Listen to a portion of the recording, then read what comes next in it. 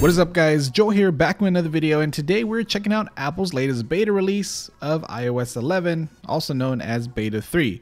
Now this time around in iOS 11 Beta 3, we don't have much that is new, but rather some speed improvements and more bug fixes. So this video is going to be pretty quick, starting off with the notification center.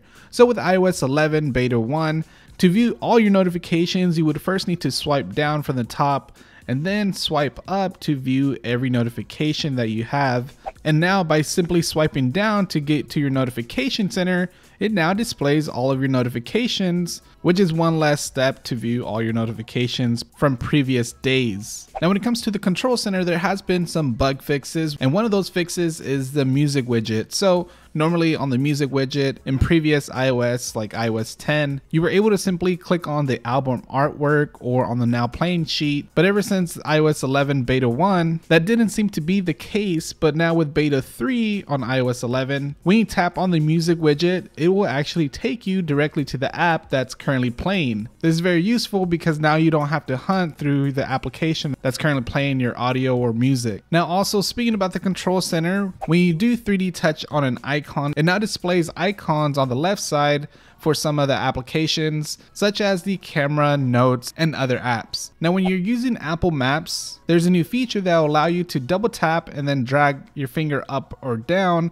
to zoom in and out, which is pretty cool. Now, I did notice in the settings when you go to your iCloud account, you now have messages able to be uploaded to your iCloud account because in iOS 11, you can now sync all your messages to iCloud and then have your messages on all of your iOS devices. So if you delete a message on one device, it'll delete across all devices that are logged into your iCloud account. Now, when closing out applications on iOS 11, on beta 2, it seemed to be pretty buggy and sometimes it wouldn't even close out that app. Thankfully in beta 3 that has been fixed. So now when you swipe up to close out an app, it actually works. Now speaking about swiping up to close out apps, if you are an iPad user on iOS 11 beta 3, when you open up the app switcher, you will now be able to simply swipe up to close out apps instead of holding down and then hitting the little X on the corner. That was for sure a hassle, so I'm glad they fixed that in beta 3. But other than that, that's pretty much what is new or what has been fixed in iOS 11 beta 3. Now if you do want to install it, I'll leave a link down below in the description so you can easily install the developer betas, but there also is a public beta that they should be updating here in the next few days, hopefully. Now if you're not aware of how to install the public beta, let me know in the comments below if you want me to make a quick video for that. It's pretty simple but if you are running the developer beta for iOS 11,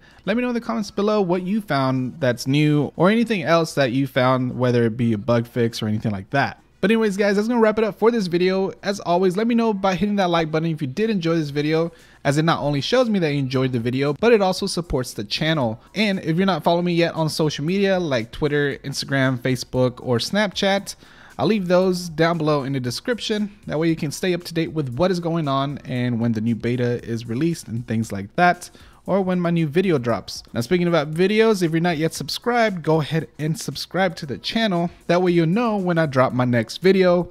And also be sure to hit that little bell. That way you get a notification when I do drop that video.